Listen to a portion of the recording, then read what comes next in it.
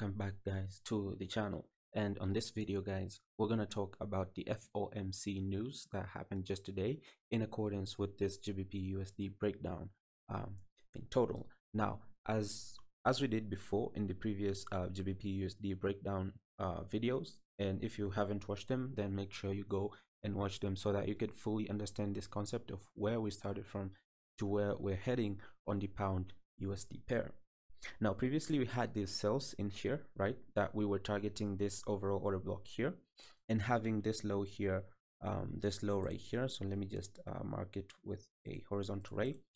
Having this low here as our protected low. So at that at that time we were basically here in terms of price action. It was um it was january um 23rd so we we were selling this for about the whole week right uh, up until today where we had um, finished these sales on um, Tuesday, right? And today is Wednesday.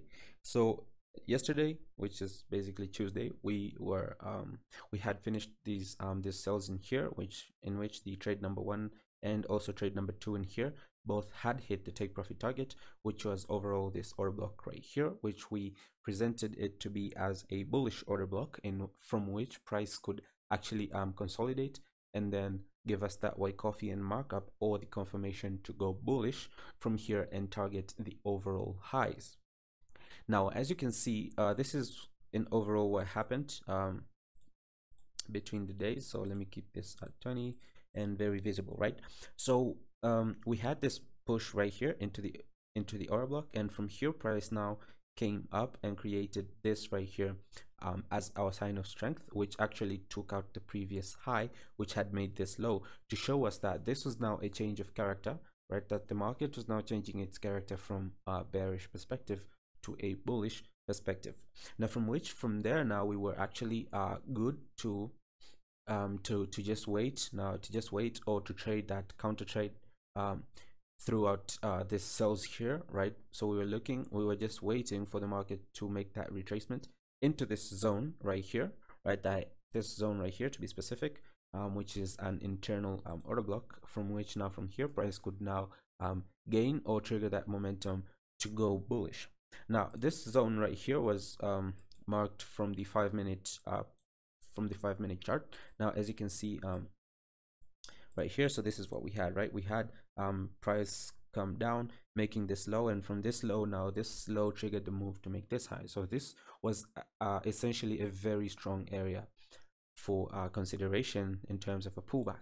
Now of course price does what it does best right? Price created um, this uh, this very beautiful form of liquidity as you can see uh, as you can see right here right? So all this was liquidity right? So prices basically building liquidity on both sides of the market throughout this uh, consolidation. And then price comes up takes that liquidity and then instantly comes down right? To take um, this sell side liquidity. Now with price taking the sell side liquidity price comes into our zone taps it and of course liquidates it. Why? Because of the news right? So this this was uh, basically due to the news, right? We know uh, what news does. News always uh, takes liquidity and you know makes those big pushes of the market, right? So um, this is the concept in which we call um, absorption, right? And if you don't know what that is, there's basically a video in the playlist that's called absorption and displacement. So make sure you go back and watch that video to get the full concept of what absorption is.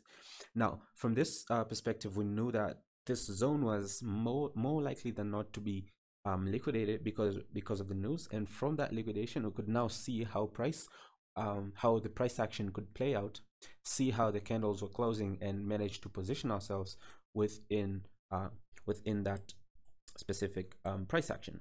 Now lo and behold so this this right here um, this right here was the news time right? So this was like um, um basically the uh, basically the news push right as you can see because the news was at 22 hours o'clock my time. So uh, price comes in makes that uh, up and down move right? Makes a little bit of an absorption but it's also another uh, form of liquidity creation. As you can see right from this line right here there's pretty much basically equal lows here right?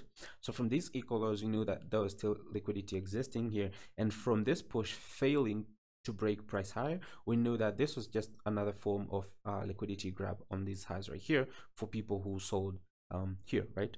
So we basically waited for price to play out come down right? I was either looking at a potential good structural break of this low or a liquidation first of this low right here and then um and then the uh, i mean after this liquidation the mark up to take out the highs and pretty much um that that's where the entry was now from there uh price so price comes down right? Takes out the lows and creates this wick. Now from this wick uh, as you can see so price now steps up with this type of candle right here right? Which is a what? Which um, which is a basically so-called an engulfing candle, right? So we can now see that this bullish pressure or bullish momentum within this candle has obviously surpassed the bearish momentum that there is in this market at the moment.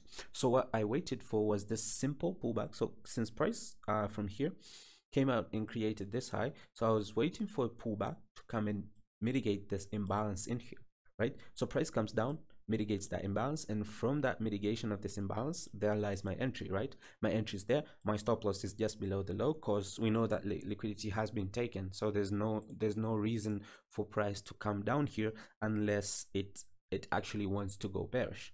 Now lo and behold that's where uh, the entry lied. And of course we were looking to target the overall highs right here which makes this trade uh, to have an essential 13 pip uh, stop loss with a 164 pip take profit target that equates it to just about 1.62 or estimatedly um, a 13 RR trade. Now this is um, this this is it on this video.